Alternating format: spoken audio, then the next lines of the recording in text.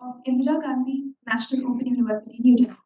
He is presently Government of India's nominee in the Eminent Persons Group set up by the Prime Ministers of India and Nepal. He was bestowed full professorship at a relatively young age of 39 by India's premier Jawaharlal Nehru University. Acclaimed as the architect of the reopening of the historic Nathula trade route, Sikkim, in India and Tibet's autonomous region in China after 44 years in 2006. He has served as a member of the high-level National Committee to examine the six scheduled areas in Northeast region, a member of the National Committee to revamp Northeastern Council, and a member of Prime Minister's Task Force on Hill and Mountain Development in 2008. Third is the recipient of a large number of awards, public felicitations, including Father's Coquhart Gold Medal, Lifetime Achievement Award by St. Joseph's College, Darjeeling, and has been associated with a number of national and international organizations. He has participated in over 500 seminars and conferences both in India and in 35 countries abroad, and has supervised the dissertations and theses of over 45 MPhil and PhD students, who all hold prestigious positions across the globe. Sir, we are delighted to have you here with us. I call upon Professor Mahendra P. Lama with his valedictory address titled Beyond Theories. Well, uh, thank you very much. Uh, very good afternoon to all of you. Uh, uh Professor Sukanya Sharma, Professor Bodhi Shadwa Shengupta, Professor Mithilesh Jha, and uh, all the very distinguished researchers and participants in this very, very interesting tabulations. Well, uh, I have been teaching uh, in uh, a number of programs across uh, India and also a number of countries abroad, primarily looking into or examining theories and uh, implications and the practicability of these theories. And gradually over the years, I have come to realize that theories per se would not give you the entire or would not tell you the entire story, right? If you strictly or if you very meticulously follow theory, you may not get conclusions or the what you call the relevant research outputs. Uh, that's why many of in the university system today would like to go much beyond theories, taking into considerations about what really happens in the political economy, in the cultural ecology. Of course, also the fact that uh, research has started becoming increasingly policy oriented and uh, many people do ask for what you call what you call the social relevance of the research we conduct in the university system. And it could be across the disciplines, but more so it is in the social sciences and humanities. Uh, other day, I was visiting two very well-known private universities now in Delhi. One is uh, Ashoka, including Ashoka University and uh, OP Jindal University. And I found both these universities emphasizing on greatly on liberal arts, primarily based on science and scientific tenors. And uh, when I was uh, conversing with the authorities there and the faculty members there, they did tell me that that that uh, that research is particularly in the humanities and social sciences need to be much more policy focused and much more socially relevant. I'm going to discuss today about uh, three situations realistic situations where somehow, if you strictly go by the theoretical underpinnings, we may not really achieve something which we tend to or which we would like to achieve as far as the results are concerned. I raise uh, three critical issues. One of the theories that bind human security and national security. Secondly, I would also look into the theories that uh, guide or that to a large extent determine the cause of regionalism in a particular region. And thirdly, I would like to speak on uh, situations where diplomacy is conducted, right? Say, for example, on something like hydro diplomacy, and how various theories uh, tend to converge, yet theories may not lead to, theories alone may not lead to a situations where you can really negotiate and discuss. So let me start with human security and national security discourse. You know, both these discourses have become pretty interesting. National security, all of us know, is a kind of an orthodox variety of security, basically, basically triggered by what you call a country's national security interest. And it primarily comes from a theoretical understanding that global world or the international system is anarchic in nature. And once it is anarchic in nature, a state has to be omnipresent, right? Omnipotent also. And state has to be strong militarily in order to determine the national interest of a particular country. And this is what you call a realist paradigm or a realist theory. So therefore, uh, in the national security discourse, the state is the core element. But on the other hand, we have a discourse parallel, which is much more relevant today also, which is equally important also, known as human security discourse. Unlike the national security discourse, where realist paradigm drives one to believe that state is the key actor. That means the entire system is state centric. In the cause of human security, it is basically entire discourse is human centric, right? Now, the moment you say national security discourse, you talk about border as a geometric line.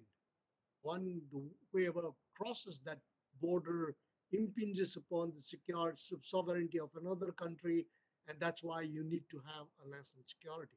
I'm giving you an example from nearby our country or, uh, or, or countries around. But if you talk about human security, right?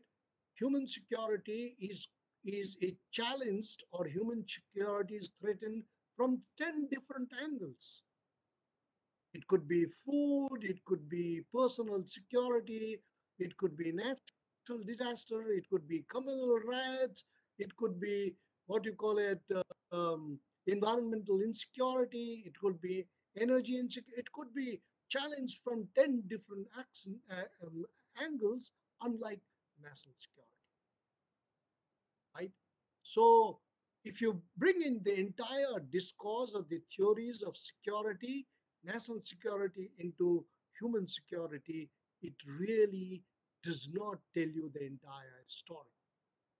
That's why we tend to do, we tend to become more specific about human security, and we tend to bring theories brought about by Copenhagen School or Canadian School or even Japanese School, right? Where you have 10 different angles of looking into a term known as security. Let me give you an example.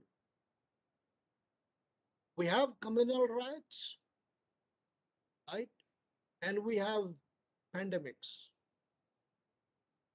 At the same time, we have uh, Kargil war and we have Chinese intrusion into Indian borders. And if you look at into look into the characteristic features of both these phenomena, one is absolutely dealing with human security. The other one is we have put it in the bracket of national security, right? And if you look into the characteristics features of both these security issues, then you will find one is more or less akin to another. For example, if you look into these events, say for example, you take communal riots or a pandemic on the one hand, and if you take Kargil war or Chinese intrusion into the Indian borders, then you will find both these phenomena killed, phenomena killed, displaced a large number of people. Both destroyed property and caused huge losses to exchequer. Both, both created serious human insecurity and central security forces, including the army, were deployed in both the situations. And they were extensively covered by media and widely discussed in parliament. And uh, both, to a large extent, followed what you call the commissions of with the commissions of inquiry. So, despite this striking similarities, why communal riots and pandemics are internal security, and why Chinese intrusion into Indian territories and Kargil war are what you call is national security. That means one, the moment you call it internal security, it becomes a law and order problem. Whereas the moment you call it a national security means it becomes a kind of a serious national security issue. Is this because pandemics and uh, communal riots took place within the region, within the country? and the Kargil and the Chinese intrusion took place that involved a country outside the border. If you look into the theories of security, it would only explain as to why Kargil and Chinese intrusion would become a national security threat. And if it would and it would not explain why pandemics and communal riots would not be a national security.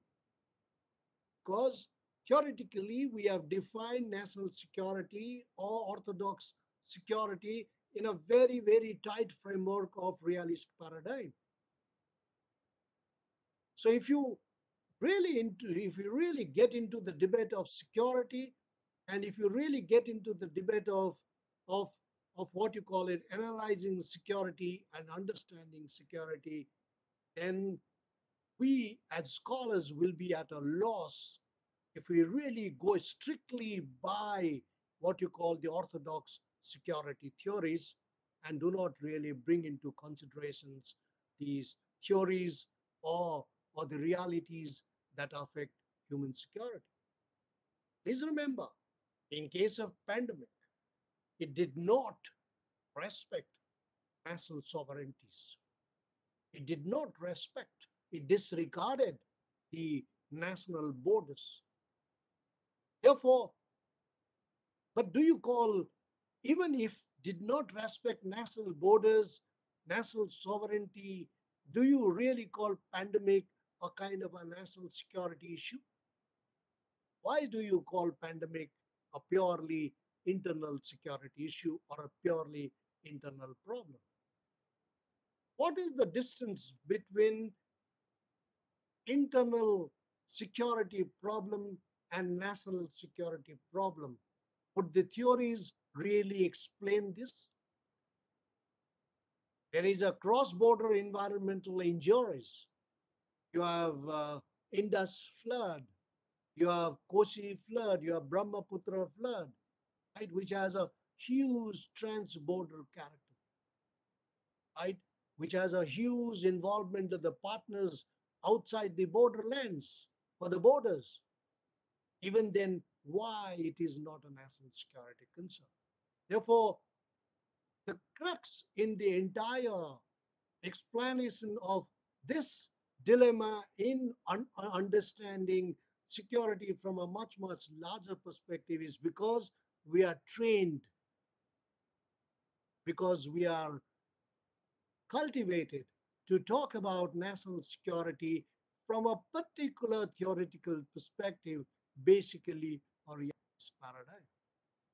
Therefore, over the years, what we have realized, some of us, we have been working on not geometric line, border as a geometric line, but we are when we are discussing about borderland as an opportunity, then we suddenly come to know that the national security theories would not really explain the nuances of borderland management opportunities in the borders or any kind of cross-border intrusions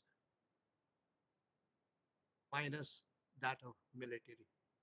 Therefore, I would say that uh, increasingly, the increasingly we need to really bring in newer theories. These theories may not be available in your in our textbooks, right? Primarily, this may not be these theories may not be available easily in the in the in the in the what you call it Western literature. Therefore, many of us as academics would have to develop our own theoretical discourses as far as our own theoretical understanding of what really happens in and around us. My second submission about why theories, we need to go beyond theories. We have practiced regionalism in this part of the country, this, this part of the region fairly extensively. We have today South Asian Association for Regional Cooperations, SAARC. We have BIMSTEC. We have IOARC. We are uh, Mekong Cooperations Project. We are Bangladesh, Bhutan, India, Nepal. Several projects are going on. On top of that, Asian Development Bank is doing sub-regionalism project as well. Now, at the heart of sub-regionalism project, right, or regionalism project, the theoretical discourses are primarily would would would would would would veer around the points something related to cooperation, something related to competitions, and something related to assistance, and finally rivalry. Right? So these are the four very important terms when you really talk about regionalism is concerned. So, but if you look into the entire regionalism, entire regionalism issues, then theoretically it guides you to three kinds of integration process because the ultimate aim of regionalism is to integrate physically uh, in terms of uh, economic exchanges, socially in terms of social interactions, and to a large extent institutional uh, uh, interdependence, such kind of things we look into. That means, in a way, what we are saying is, yesterday we were, we were, uh, uh all of us were acting as individual countries, but in the course of next 10 years, when the integration process starts or the cooperation process enlivens, then in that case, we will all be together making a decision together in many, many areas of cooperations. And that's how most of the regionalism processes would say this. Now, if you look into the theories of regionalism processes, then it basically moves into three varieties of theories.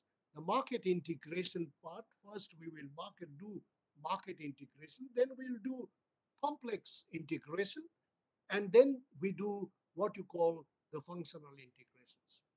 And there are examples where uh, countries have come together and they have entered into first market integrations, moved into what you call it complex integrations, and finally to basis.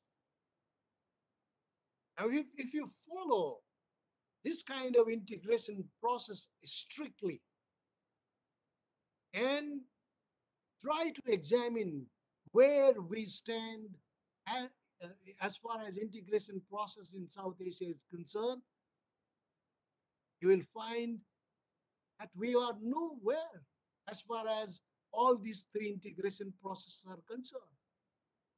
Because the market integrations will say that you will have to have intra-regional trade. That means regional trade of a much, much higher volume. Whereas in case of South Asia, out of our total global trade, trade within the region, that means trade within the eight South Asian countries, including Afghanistan, Pakistan, India, Nepal, Bhutan, Bangladesh, Sri Lanka, Maldives, would be hardly 5%. If you see ASEAN countries, Association of Southeast Asian countries, if you see European uh, countries, EU, if you see NAFTA, North American Free Trade Association, it would be much, much higher, going towards 40, 50% also, 30 to 50% also. But in South Asia today, after 40, almost 35 years of uh, regionalism process, our trade remains exactly at 5.5% of the global trade, inter-regional trade. So what does theory say about it? Right?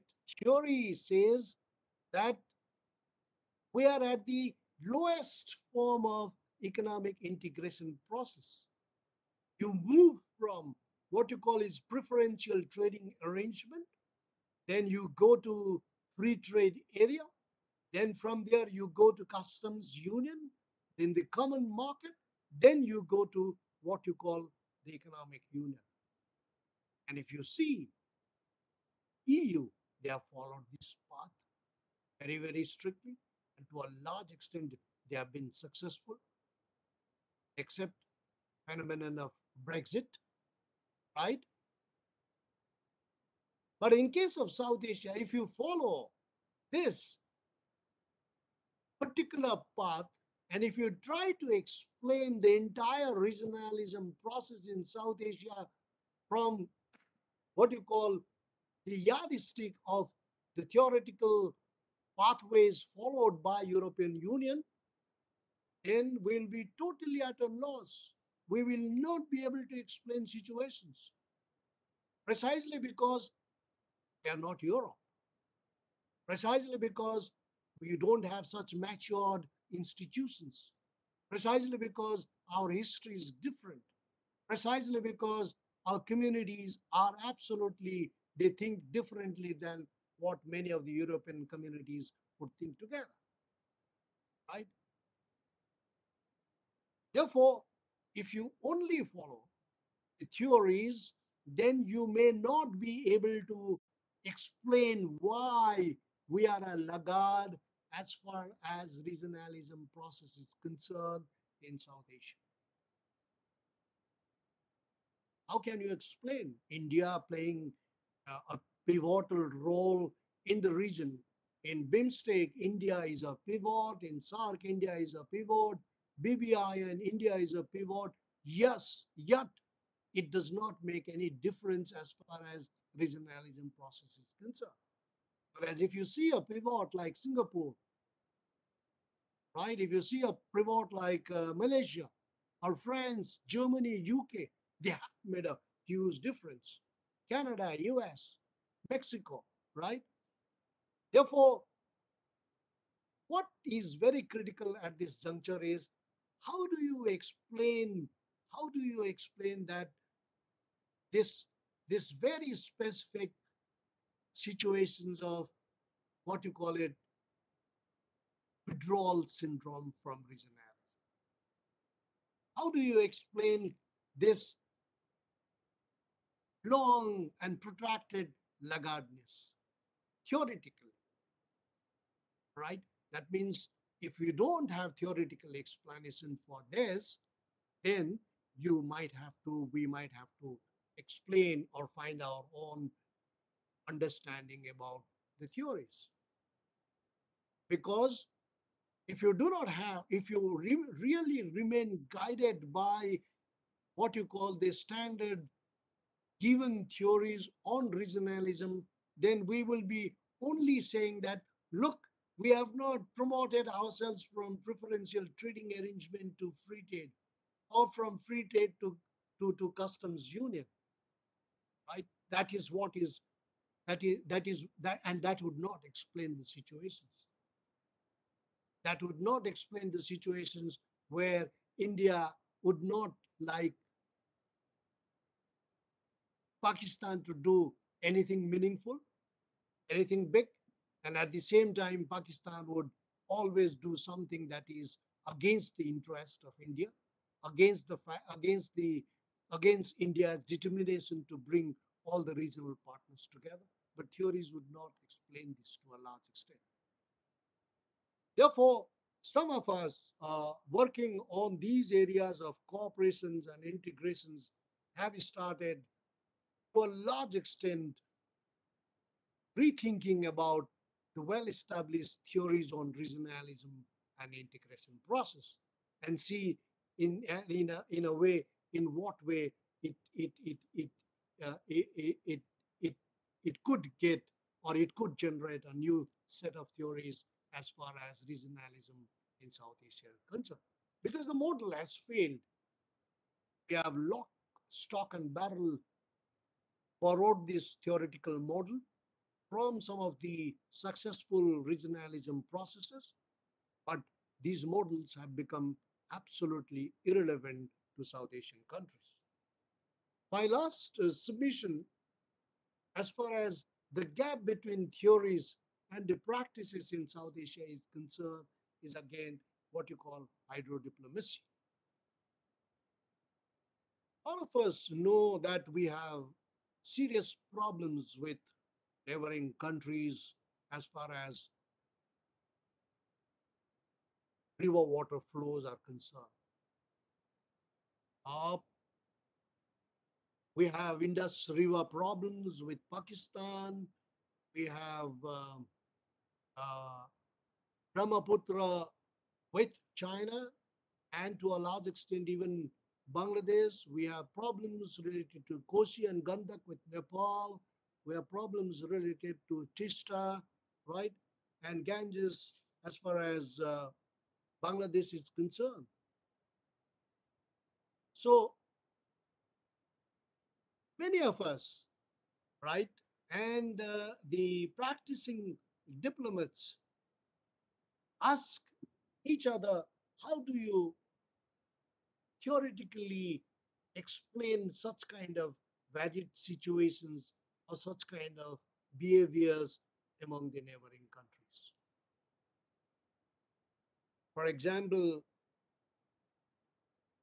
if you go by the theoretical models, then what we find is basically, what you find is basically the doctrine of absolute sovereignty.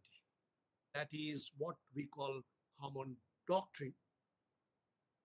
Under this, the state has absolute rights to water flowing through its territory. Now, if that is the case, that is the case, then uh, then uh, you can say that upper riparian like Bangladesh, like uh, China, and upper riparian like India in case of uh, Brahmaputra or Ganges, has the absolute what you call it sovereignty on the way it uses water. But is that the case? Is that how the international distribution of water or international negotiation water takes place? So you come down to a much more moderated principles like doctrine of limited territorial sovereignty, where you have reasonable and equitable use and obligations not to cause appreciable harm to other countries. Then you have purely orthodox economic theories where talk about optimizations, right? And uh, you have game theories where you call we talk about strategic choice and a zero sum game. And when you really talk about the negotiation theories, you talk about uh, what you call the multi-track diplomacy. So you have, on the one hand, you have very interesting theories basically developed out of a number of such kind of issues and programs and problems across the globe. And they have acquired theories that can be possibly applicable to many other regions also. But in South Asia, right, it's difficult to really exactly implement these theories and say that these theories explain the real situations in South Asia. For example, in 20, I was when I was teaching in China, uh, I happened to go to the Kailas Mansarovar region, right? And I just wanted to see how the entire water tower dynamics work in China as far as the western part of China is concerned, southwestern part of China is concerned. Because I knew to a certain extent how it impinges upon the water flows down below in India and further to uh, a state like Bangladesh. So when you go to southwestern part of China, their major concern is how to divert water resources from highlands to lowlands, from water scarce states like uh, what you call it, uh, dry 11 states, including Beijing and Shanghai and Tianjin, right? And these dry 11 states contribute almost 50% of GDP of China, right? And uh, they are basically they are basically what you call it uh, mm, states that that that consume a lot of water because of their agricultural systems, because of their industrial systems and all.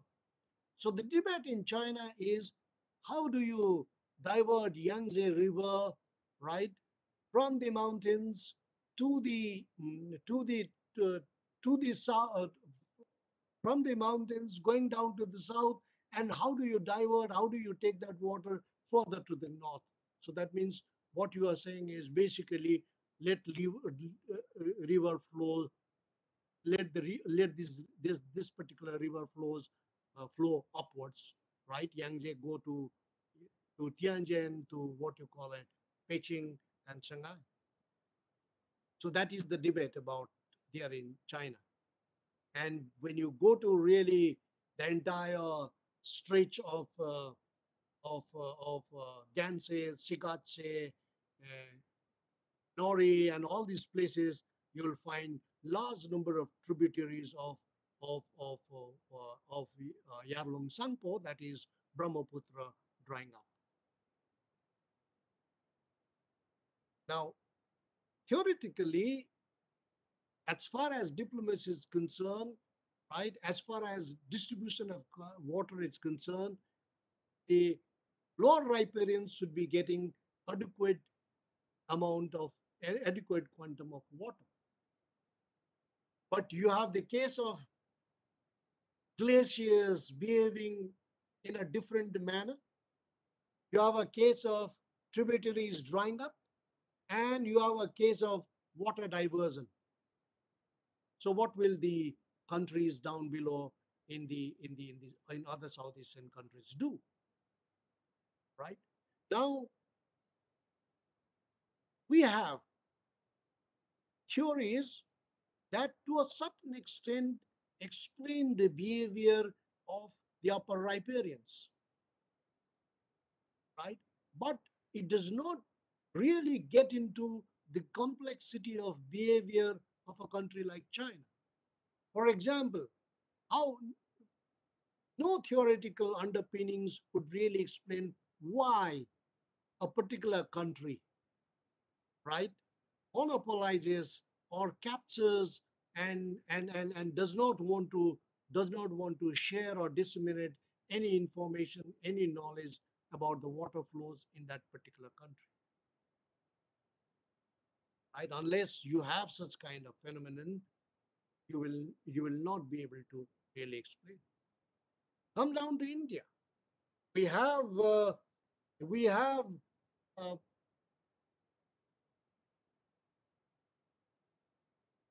situations where it would be very difficult for us to explain theoretically why India has a problem with Bangladesh, why India has a problem with Nepal, why India has a problem with Pakistan as far as water river, uh, as far as river waters uh, flow, uh, flow are concerned.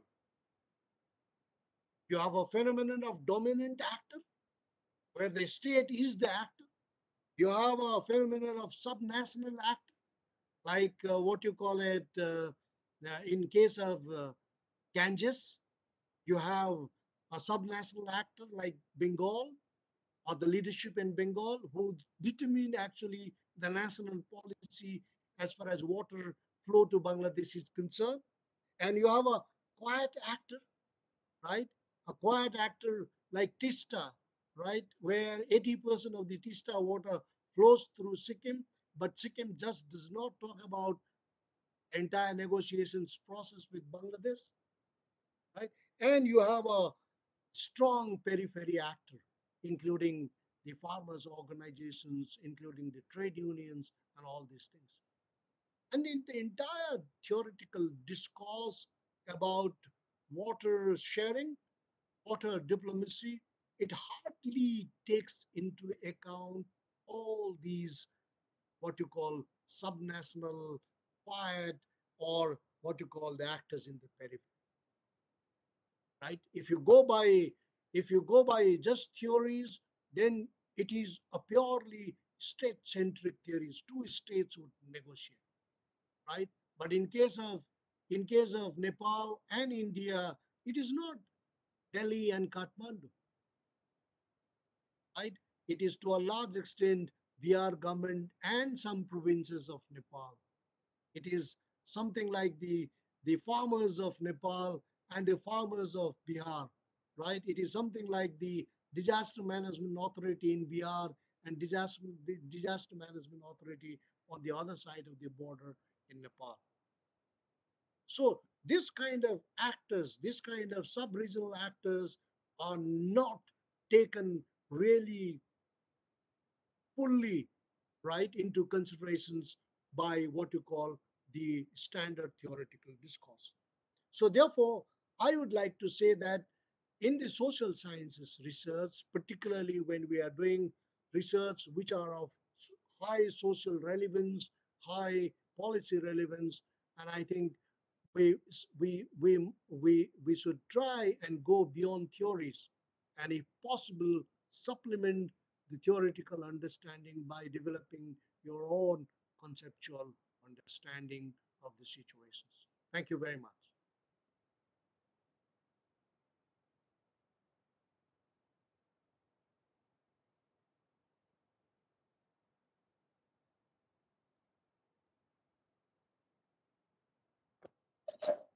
Thank you, sir. That was a thought-provoking speech. Never before have I thought about the rigidity surrounding a theory. I also sincerely hope that we someday become a more influential pivot. I uh, now call upon our student convener, Kiran GSK, to deliver the vote of thanks.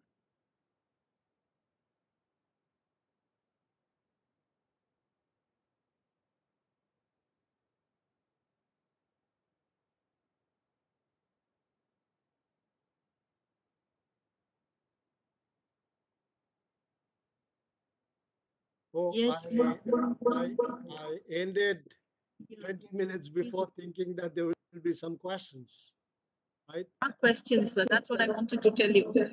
There are questions.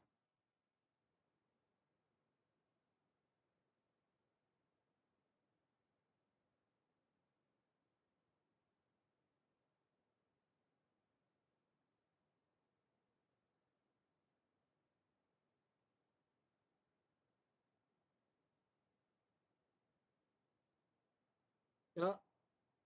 Can't hear you. Yeah. Sir, I have a question. Uh, when you are talking about you know water sharing and all, uh, do you think that the Kaveri water dispute between say it's not international, right? It's within. Uh, so in that case, also we should go beyond the theories and. Uh, so, what is your take on that? Thank you. See, the Kaveri water dispute can be looked into from uh, three different theoretical angles. First is uh, just theories of water sharing. Then the second theory would be that of conflict. And third is the is uh, something related to legal constitutional issues, right? And in case of so you have similar kind of situations, right? You have layers and layers of conflict. You can see uh, as far as water is concerned, you have a conflict with the neighboring countries, you have conflict within the country between two states, you have conflict within the communities, you have a conflict between two villages, all kinds of layers and layers of conflicts. This is why. But if you get into the pure theories of conflicts, right? These theories of conflicts may not really capture the deeper, complex nuances of the water related conflicts. You have conflicts, right? Which theory can capture that a, a, a kind of a, a, a kind of a Dalit would not be allowed to drink water or bring share water from a, a, the same tube well in a particular society. Which theory of what? But this is a conflict within a village. This is a conflict within a community, right? Now, now, question here is you compare this particular conflict with a conflict between India and Pakistan on Indus, India and China, as far as Brahmaputra is concerned, right? Where two states are involved. And you come down to a deeper, deeper micro level conflict where you have a caste, particular caste within a particular community and a village would have also a conflictual dynamics. That's why. So, so if you look into the theories, all these are covered by what you call it conflicts, a theory of conflict. But the nature of the conflict, the complexity of the conflict, right? Of course, sociology, socio sociologists will have its own way of describing it. The political scientist would have its own way of describing it. But when it comes to really bringing interdisciplinarity in explaining this kind of conflicts at a fairly micro level, right, and and at the macro level, at the at the international level, you don't have one single theory to explain this.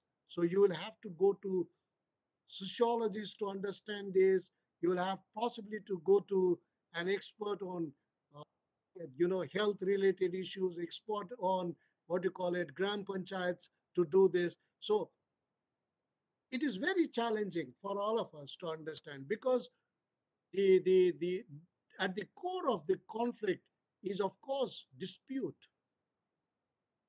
But when you explain the nature of the conflict, right? When you explain, expand the horizon of the conflict, then it is the power of the state in one case.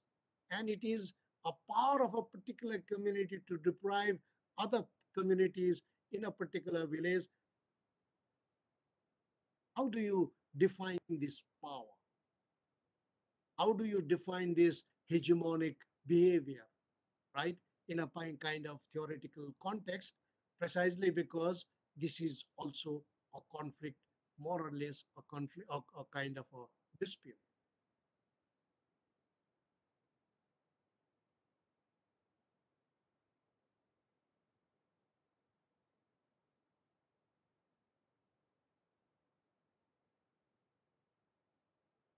Uh, uh, good afternoon, sir.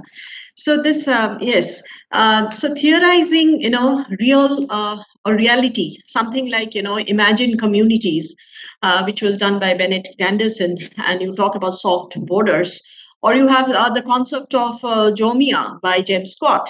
Now, the, the the situation that emerges out of it is, you know, you you uh, you these again uh, results in conflicts. So, uh, you know, uh, in some cases, it becomes that you do you do not theorize certain situations, maybe, or uh, you know, is theory uh, uh, sort of you know all pervasive and uh, it is um, omnipotent and omnipresent? How do we consider it? Yeah. Well, it is difficult to theorize it precisely because situation becomes so complex and it is so varied. Say, for example, how do you theorize a situation? The moment you say cooperations, that means you will have to uh, you will have to sacrifice something which was absolutely yours till yesterday, right? Say, for example, when we talk about cooperation in uh, in, in in water sector between India and Nepal, uh, yes, till yesterday, Nepal had an absolute control over its water. And today, the moment you enter into a cooperation dynamics with India, it has to share, right? And uh, the moment you start sharing it, it impinges upon what Nepal thinks about its national power and national security. Look, till yesterday, I had an absolute power, absolute sovereignty about on my water, but today I'm surrendering it, right? And the moment you say that, uh, you tend to withdraw from the cooperation phenomenon precisely because I don't want to lose my identity and national sovereignty. But that is Nepal. At India, small country like Nepal, a small country like Bhutan behave in such a manner where it would think that it would lose its, its it will erode its national sovereignty if it cooperates. But look at India. India does absolutely the same thing. A big country, right? India does it vis-a-vis uh, uh, possibly Indus, possibly uh, vis-a-vis Pakistan, possibly vis-a-vis Bangladesh. So if you try to theorize this, right, you're, if you try to theorize this, saying that this is a small country phenomenon, right, and this is a, the phenomenon that basically is driven by identity-based sovereignty, right? It clashes immediately in when you try to bring this theory as far as India is concerned. Big country, no worries about its sovereignty as far as smaller countries are concerned. That is why in the in the in the in the in the academics, uh, particularly when we bring, uh, particularly when we try to bring Western theoretical underpinnings and discourses, we need to be absolutely very very not only careful but also to be very very cautious uh, in, in doing so.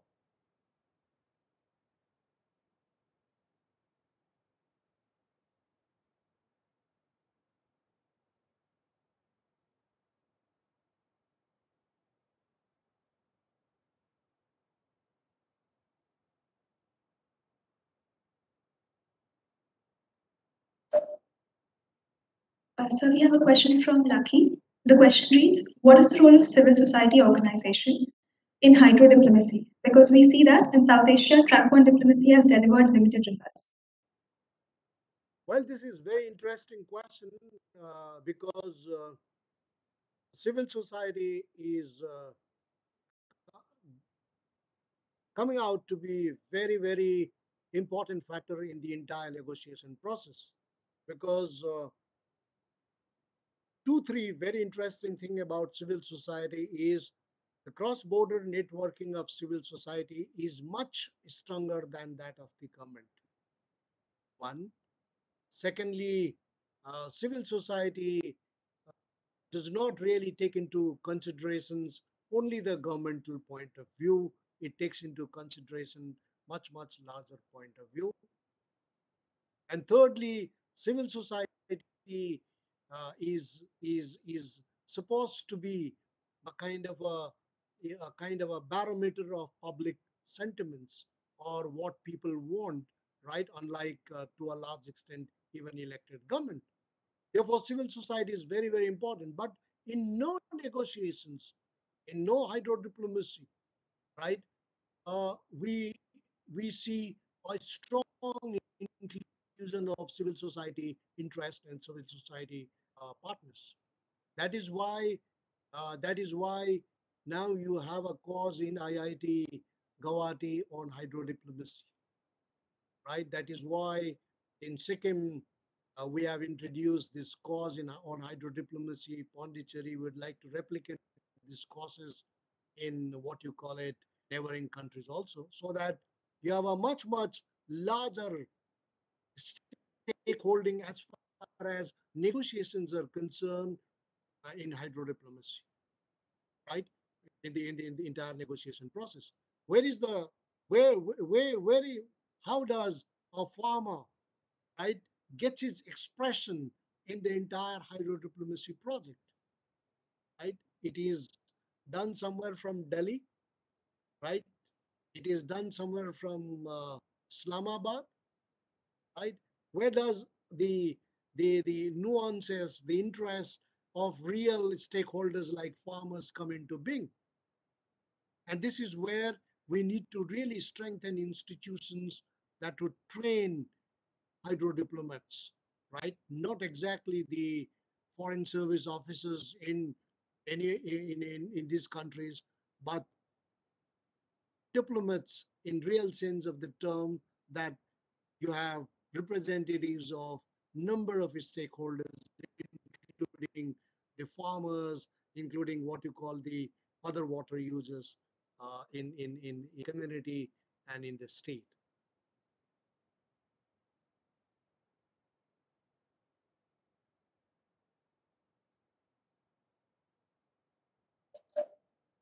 We have another question. This is from Sridip, and it is a two-part question. It reads, if we look at South Asia from the institutional lens of SAARC, regional cooperation term seems like a failure. However, in recent times, BIMSTEC has attained a considerable level of success even though it's an institution at the nascent stage. Isn't it then the rivalry between India and Pakistan that is the reason for SAARC's failure? The second part of this question. Does that not validate realism as a theoretical position which naturalizes conflict between states to expand their respective interests, which in this case has led to the failure of SAARC and a potential success of BIMSTEC? Look, I don't think uh, has uh, made substantive progress. My, we keep questioning India's postures as far as regionalism is concerned. Everybody expects India to do, India to be a pivot. When India initiated the SAARC process, everybody thought it is India which would take it forward, right? And when India initiated the BIMSTEC process, everybody thought that it is India which would lead the process. But somewhere we have failed. Look at SAARC today, right? I think uh, the SAARC summit last took place, the 18th SAARC summit happened almost uh, almost seven years back. For last seven years, we do not have the summit. And one major factor, or I will say the only factor why it has not been held is precisely because India does not want to hold it. Right? It is such a dominant partner, it doesn't want to hold it. Look what happened in Afghanistan. Afghanistan is essentially our problem. Afghanistan is a member of SAARC. Afghanistan is in South Asia. But where is Afghanistan discussed in South Asia? Tell me, Afghanistan is discussed somewhere in Middle East, somewhere in US, somewhere in Russia, somewhere in China, right? But where is Afghanistan, South Asia? Except the meeting organized by the National Security Advisor in India day before yesterday, nothing. Whereas we thought that the best forum for discussion on what is happening in Afghanistan would be SAARC, right? As we discussed in the last uh, many, many years. Therefore, we have somehow lagged behind. Uh, there is no Pakistan in, in BIMSTEC, right? There is no Pakistan in BBIN. There is no Pakistan in greater uh, the Ganga Mekong cooperations. Right? This is only India. That means what? That means that means that means India is not able to really push it forward. Right? Any of these projects, whereas every everyone wants India to be a pivot. And indifference of India in the regional projects like this has created space for a country which is outside the region historically, that is China. At China everywhere in Pakistan, in Nepal, in Bangladesh, you know, the trade, the, the, the quantum of trade of China with Pakistan with India, with Bangladesh, with Myanmar, unimaginable, the growth rate. How do you explain this? This is, this is basically India's uh, periphery. This is, India is the central actor in the, in the, but as a central actor, somewhere we miss the point. That is why I'm saying the theoretical model which we tried to bring in our process, that integration model, we just brought it without even thinking whether this would be relevant to South Asia or not.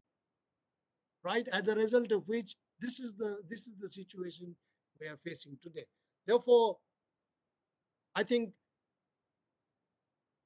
as academics, as scholars, one of our one of our major contributions would be to provide alternatives to various governments in the thinking process, in the models, in the growth process. Do you get it? One of this is what we have been, this is what we try to do in many of the Northeast states. I was asked to prepare the vision document for Northeast states by Niti Aayog 2035, and exactly we have we have put all these issues together. That this is a this is a region which requires reverse integration. Theoretically, conceptually, what you have been saying is, look, Northeast should integrate with rest of India. Why? Nobody explains. Why all the projects in the Northeast regions have to undergo, have to have to go through the security labs? Why? Nobody explains this. Why there is a hegemonic discourse about Northeast being a laggard, Northeast being a place of violence, Northeast being a place of instability. I, we don't understand this. And so, the, so people use theories to explain this, but we don't want. We want now a reverse integration. Let rest of India integrate with Northeast. You see the map. You see the map of India, right? let me take two minutes more. Professor, let me look at look at the let's let's when we talk about reverse integration, look at the map of India. In the map of India, northeast is connected with the rest of India through a chicken neck. And the chicken's head is northeast India, and the chicken's body is rest of India. You have seen that? And theoretically, conceptually, hegemonic uh, thinking wise, narratives wise, so far the body actually directed the head. Because you always said that uh, we should integrate with the rest of India. And that is why the situation is so complex today. When body drives the head, what would happen? Right? So we are saying that you you you you reverse the integration process. Let head drive the body. And when head drives the body, let head be actually talking about India's Act East policy. Let head lead the India's Act East policy narratives. Let head lead the entire development discourse as a growth pole in India's Act East policy. This is what's saying. It's a difficult thing because narratives wise, theory wise, you have a mindset now two generations, three generations have a mindset now that we will have to integrate with rest of India. And we are now questioning that no, this is wrong. And it is so very difficult to change the entire narrative and the concepts. Therefore, I would suggest that an institution like IIT and scholars, bright scholars you have this is let's start questioning which were not questioned, which were apparently wrong, yet not questioned. Right? Therefore, this is the beauty of all of us. And as, as, researchers, we can question. We are free to question. We are not bureaucrats. We are not politicians. We are absolutely free to questions using our own theory. Thank you.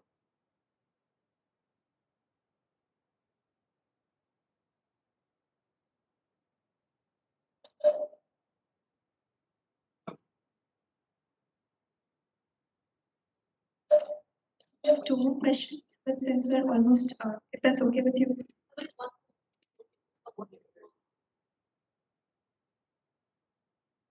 Shall I go ahead with the question? Yeah, yeah, please, please.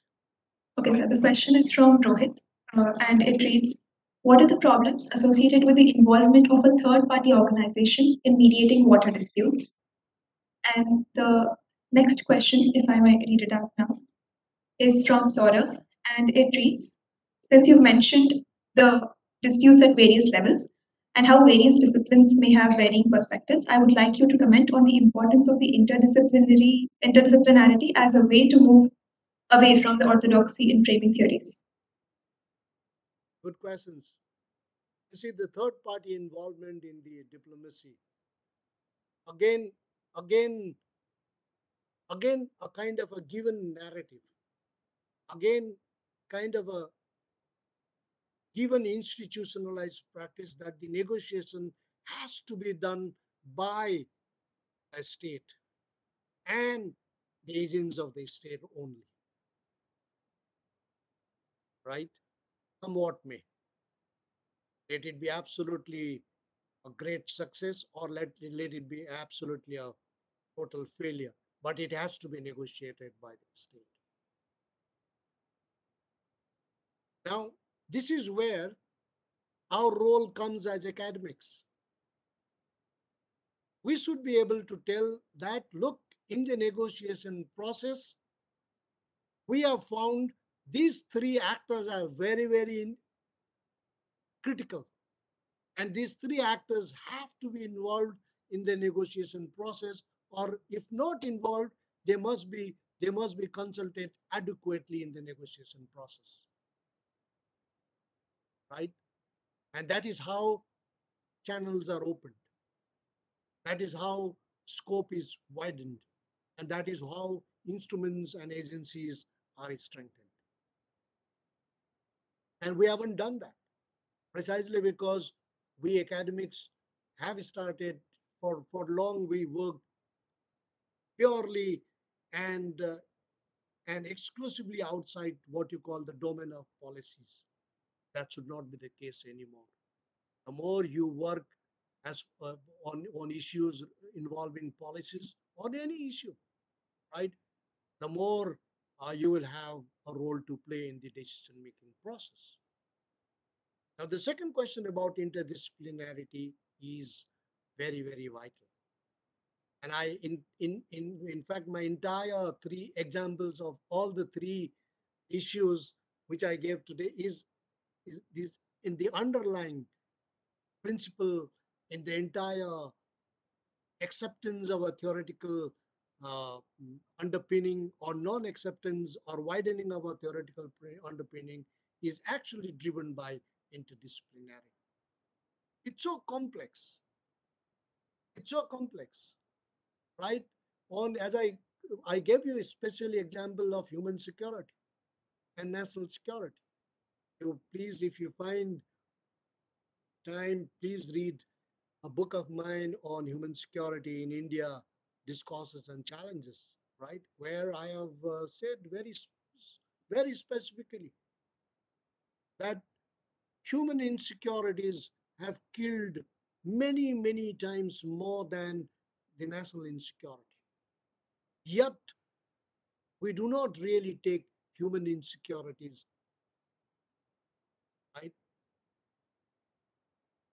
hunger deaths, the malnutrition part of it, the, the individual security part of it, literacy part of it, the health part. Look at pandemic last time. Mane, situation was there as if there is no state, there was there is no government. Right in a pandemic this was a serious, serious national security concern for us. Such a serious, serious national security concern for us. Therefore, interdisciplinarity in approaching and in dealing with a particular issue is very, very critical now. The the the the the, the idea of exclusive domain in in a, in in a in in the treatment of a particular issue or an exclusive discipline is no longer relevant, I must tell you. Is no longer relevant. Therefore, it's our call in the academics to really widen the entire thinking and the treatment process. Thank you.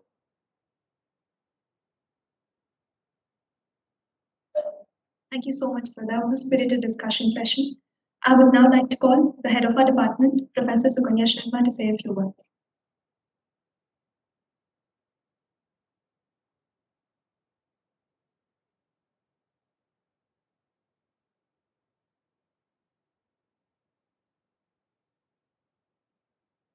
Oh, we can't hear you.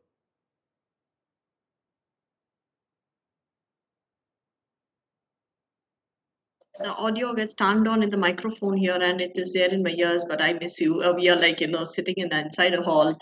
And uh, yes of course there is virtual. So we are semi virtual state uh, where we have some people out you know connected through uh, uh, online. And then we also have you know in a hall uh, students sitting in front of us today after a long break this is you know the first time that we have been able to do this in a hybrid mode so the uh, online uh, graduate research meet has been on a hybrid mode, in fact, and we have made it work.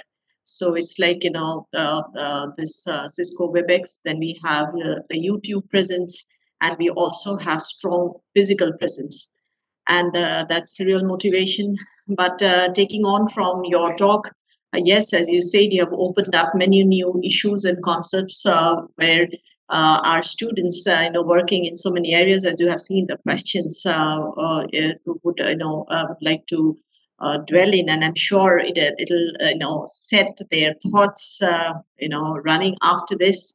with, with the GRM, you know, the end of the GRM, uh, this was, in fact, a very, very good ending to our uh, two-day uh, where we end with this very um, motivating um, uh, you know academic discourse uh, about uh, on beyond theories where you know it is about uh, uh, more about problems and issues uh, which are beyond or you know within theories. They, the concepts the theories cannot handle them but it is our own efforts as academics to find out solutions to these problems which may not cater to theories but that should not be a hindrance to uh, what you are trying to do. So um, yes, uh, uh, we will take on from here, sir, and you know that would be a real sort of you know takeaway from the from this GRM and uh, we would like to invite you uh, here so whenever the situation turns uh, normal and you know in the sense that it, it's normal but in a physical presence would be also like what it was two years back. Uh, it would be you know our uh, our our privilege to uh, see you in the campus here. And uh, we would take the, take the opportunity sometimes to invite you uh, to come and interact uh, with our students and the faculty members of the department once again. And thank you for agreeing to you know give this talk. And giving this you know wonderful insights into uh, the various ways by which academics can actually deal, deal with reality. Thank you. Thank you very much. Thank you. Thank you for the Sadbaju and uh, Jazu and the aid uh, Professor Sharma. Thank you very much and all the participants. Good luck. All the best. Thank you. Thank you, ma'am. I would now like to invite our student convener, Kiran GSK, to deliver the vote of thanks.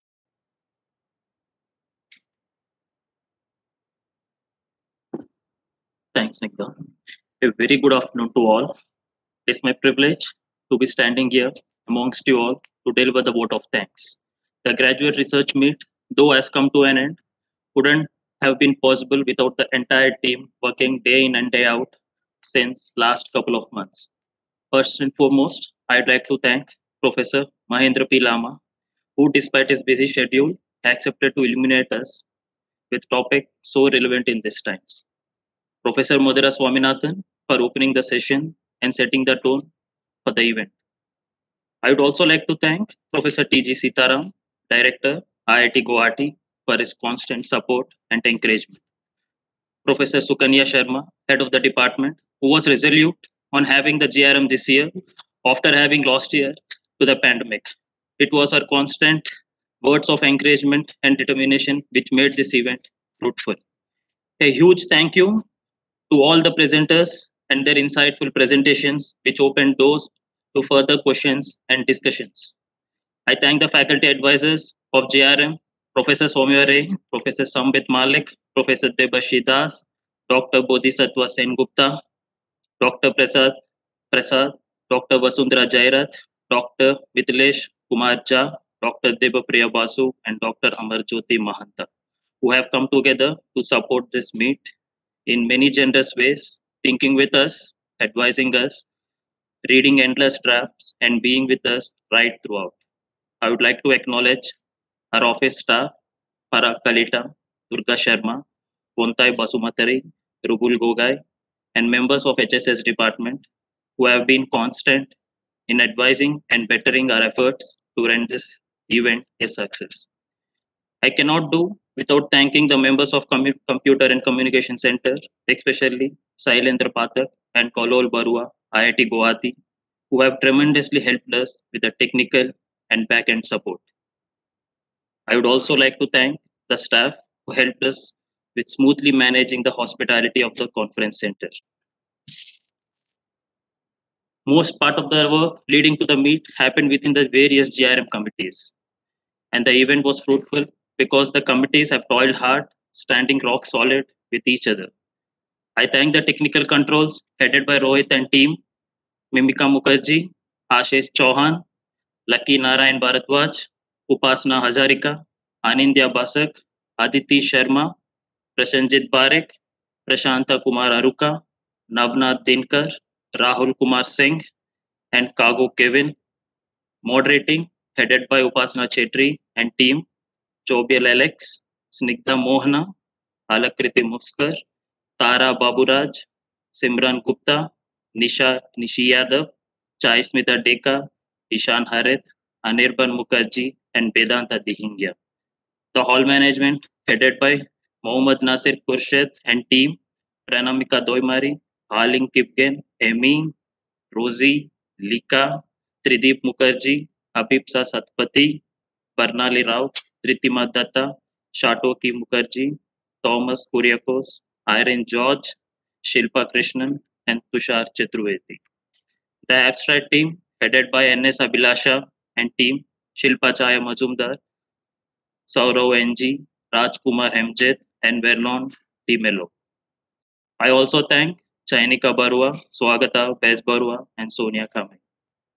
I'd also like to thank Halim Hussain, Sambasiva Reddy, Smriti Rekha, Ajay Salunke, Ritika Katri, Tulika Rani Talukdar, Shivangi Gupta, Dheeraj Paleri, Daipandar, and Jeet JR.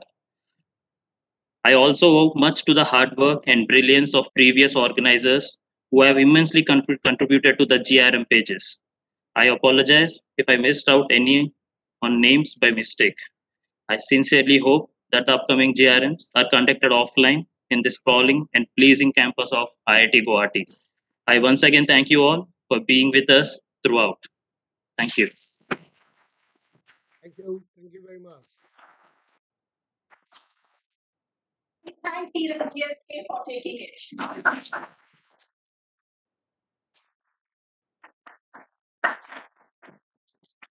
First two days when I talked with him, he was stammering, he was monosyllabic. I, I, I'm sure in the corridors when he saw me those days, he thought I was quite a monster. he was going out. It was wonderful today when he comes up. Yeah, should actually be a but it's uh,